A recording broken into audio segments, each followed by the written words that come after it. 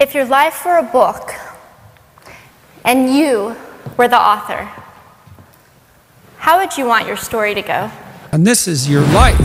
If you want to know something about yourself, sit on your bed one night and say to yourself, you got to mean this. Like, you got to be desperate. This is no game, this.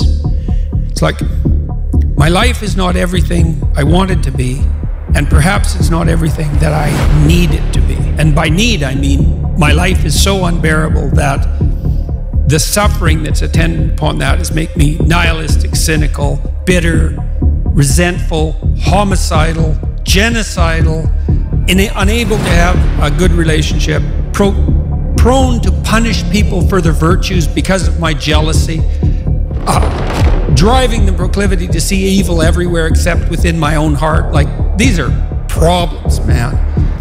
And you ask yourself, you sit on the bed and say, okay, man, I'm ready to learn something.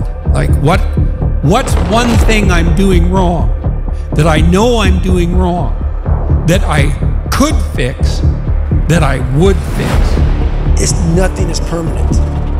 Nothing is permanent. And a lot of times you have to learn to perform without motivation.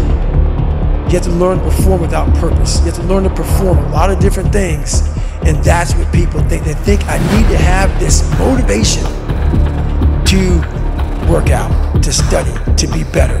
So if they don't have it, they just don't fucking do it. And that's where you fail. And our obstacles can only do two things. One, stop us in our tracks. Or two, force us to get creative. Sooner or later, you've got to bet on you. You believe in everybody else, you clap for everybody else, you support everybody else, you baking cakes and making cookies for everybody else.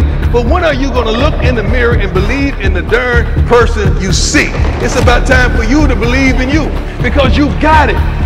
You got it. You just got to bring that thing that's on the inside out. So when I went to the combine, I already knew what I had. It was just time for me to show the world. And that's what I did. I've learned that Borders are where the actual ends, but also where the imagination and the story begins.